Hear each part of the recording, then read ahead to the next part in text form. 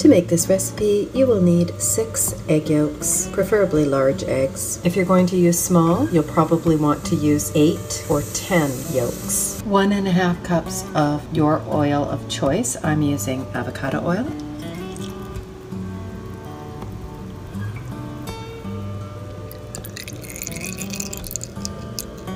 This is approximately an entire head of garlic. You can use anywhere from say 6 to 20 garlic. Less if you want less garlic taste, more if you want more garlic taste. So what do I have? 2, 4, 6, 8, 10, 12, 14, 16. Well, that's not even one, is it? Let's say 17. 17 garlic. I'm going to mince these up.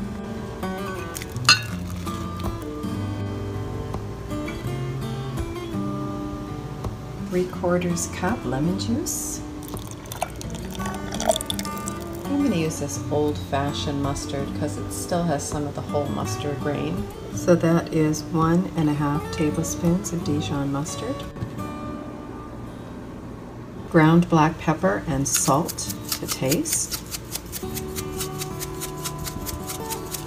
One and a half cups of Parmesan cheese.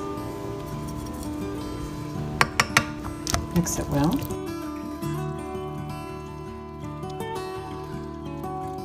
I make this almost every month and it will last a month in the fridge. Pour it over your favorite lettuce and enjoy.